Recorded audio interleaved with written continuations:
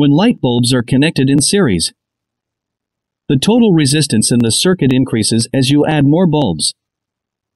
In a series circuit, the current, the flow of electricity, remains constant throughout the circuit. Each light bulb offers resistance to the flow of current. The total resistance in a series circuit is the sum of the individual resistances of all components, in this case, the light bulbs in the circuit. When we turn on the switch, the current flow through the circuit, and 5 watt bulb turn on because of low resistance.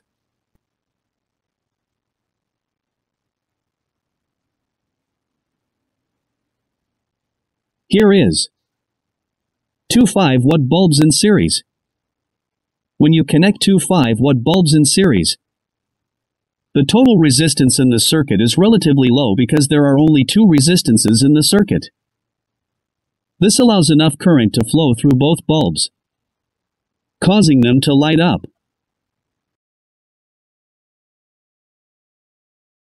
When you connect two 40 watt bulbs in series, the total resistance in the circuit is much higher due to the higher resistance of the 40 watt bulbs. When we turn on the switch, this results in a significantly lower current flowing through the circuit.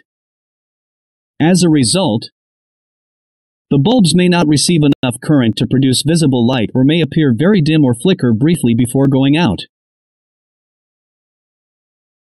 In a series circuit, if the total resistance becomes too high, the circuit may not be able to provide enough current to make the bulbs shine brightly or at all. This is why bulbs with higher resistance, e. g. 40 watt bulbs, may not work as expected in a series circuit. To have them work properly, you would need to reduce the total resistance in the circuit or switch to a parallel circuit where each bulb has its own separate path for current flow.